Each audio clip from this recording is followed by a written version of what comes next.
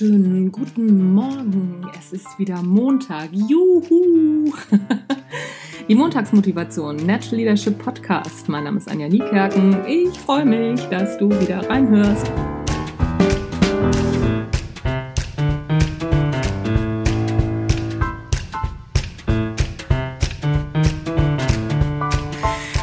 Also, ich habe gerade mal wieder ein Buch über Kreativitätstechniken und Problemlösungen in der Hand. Es ist ein ziemlich altes Buch, äh, das heißt Hurra, ein Problem von äh, der Brigitta Adriani, Ulrich Schwalb und ich weiß gar nicht, wie der Vornamen heißt, aber es ist auch gar nicht so wichtig.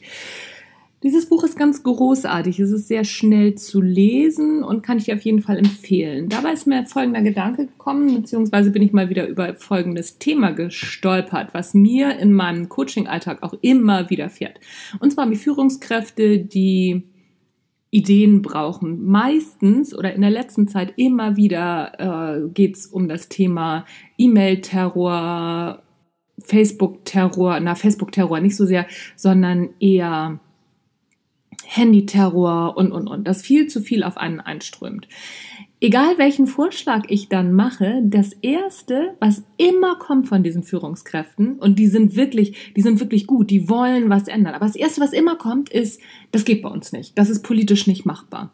Das ist politisch nicht machbar, ist eine Vermeidungsstrategie. Es ist eine Vermeidungsstrategie unseres Verstandes, sich nicht weiter anstrengen zu müssen.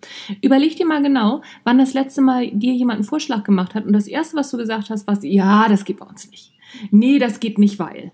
Das geht nicht, weil. Das geht nicht, weil ist immer eine Vermeidungsstrategie des Verstandes, sich nicht weiter anstrengen zu müssen. Es macht gar nichts, wenn du häufig sagst, das geht nicht, weil. Hauptsache, es fällt dir auf, dass dein Verstand sich einfach nur ausruhen möchte und sagen möchte, so, nö, nö, nö, nö, nö, ich streng mich hier jetzt nicht an und denk mal über neue Sachen nach. Denn du hast zwar ein Problem, aber es ist immer leichter, im Problem stecken zu bleiben, im ersten Moment zumindest für deinen Verstand und sich nicht weiter anzustrengen.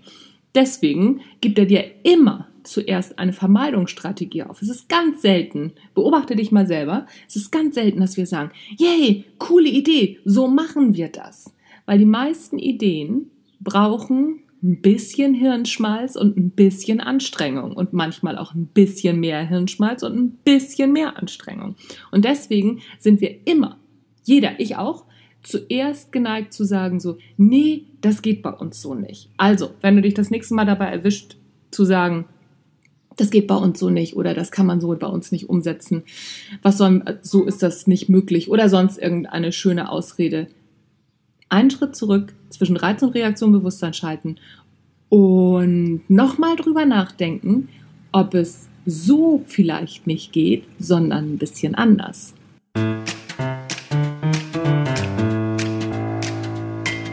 Streng dich mal ein bisschen an. Denk mal drüber nach. Das war's für heute. Toller Montag, oder? Streng dich mal ein bisschen an. Attacke los. Ich freue mich, wenn du beim nächsten Mal auch wieder zuhörst. Mein Name ist Anja Niekerken, du hast den Natural Leadership Podcast gehört. Tschüss, bis zum nächsten Mal.